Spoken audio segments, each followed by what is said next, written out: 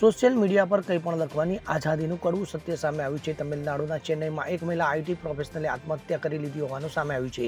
કારણ કે લોકો તેને સોશિયલ મીડિયા પર ટ્રોલ કરી રહ્યા હતા. તો મળતી માહિતી અનુસાર તેત્રીસ વર્ષીય વી રામ્યા ગયા મહિને અઠ્યાવીસ એપ્રિલના રોજ એપાર્ટમેન્ટના ચોથા માળની ગેલેરીમાં તેની સાત મહિનાની પુત્રીને સ્તનપાન કરાવી રહી હતી આ દરમિયાન બાળકી તેના હાથમાંથી સરકીને નીચે પડી ગઈ હતી તો બાળકીને નીચે પડી જતા ફેલામાળ આવેલા શેડ પર ફસાઈ ગઈ હતી તો આજુબાજુના લોકોએ પંદર મિનિટની મહેનત બાદ બાળકીને બચાવી લીધી હતી આ દરમિયાન કોઈએ તેનો વિડીયો બનાવ્યો હતો તો આ ઘટના માટે બાળકીની માતાને જવાબદાર ઠેરવીને ઘણા લોકોએ તેને ટ્રોલ કરી હતી તો સ્થાનિક ટીવી ચેનલે પણ તેને બેદરકાર માતા ગણાવી હતી જેથી ટ્રોલિંગથી ખૂબ જ પરેશાન થઈ ગઈ અને ડિપ્રેશનમાં આવી જતા તેણે આત્મહત્યા કરી લીધી હતી bureau report CN twenty four news.